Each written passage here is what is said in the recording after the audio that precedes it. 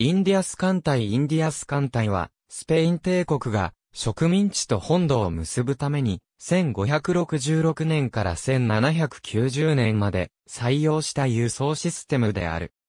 農産物、材木、工具などの工業製品、種々の金属、日用品、香辛料、砂糖、タバコ、絹や有名な金、銀、宝石、真珠などの財宝、珍重品などが大陸からスペイン本土へ運ばれた。その逆に移民は本土から大陸へ運ばれた。イギリスではスペイン財宝艦隊と呼んだ。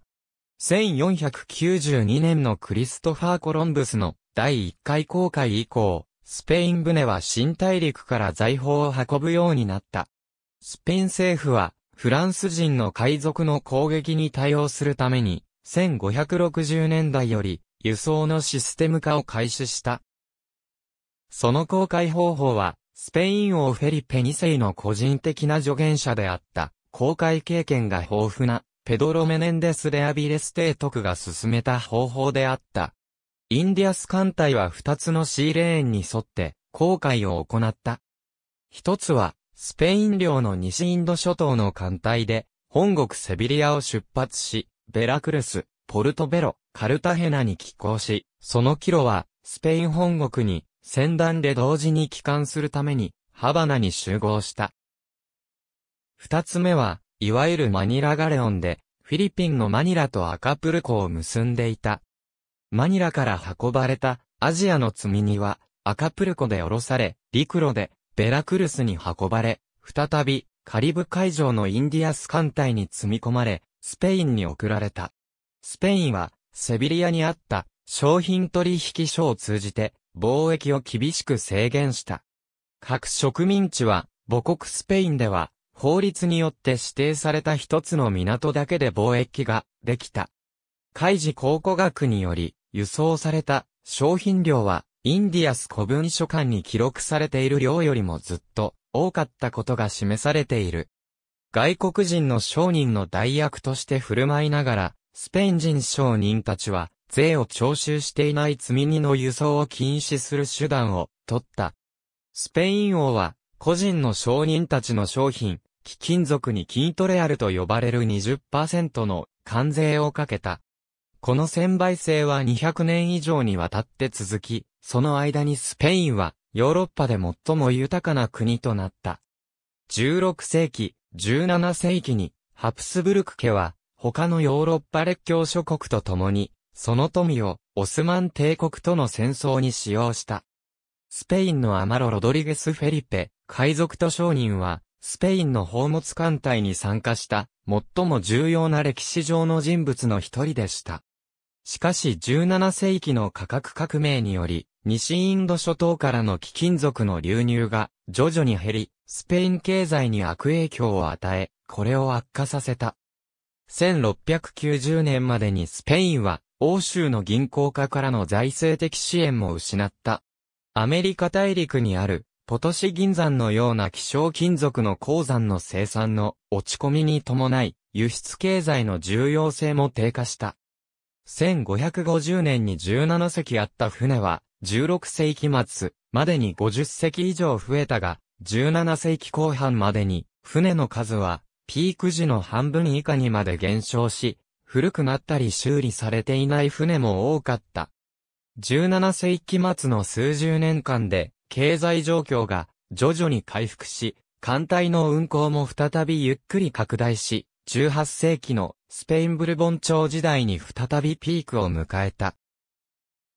18世紀中頃まで、スペインの商品、貴金属の貿易は、スパニッシュメインやスペイン領にシンド諸島に沿った小規模な基地を占領していた強豪国によって脅かされていた。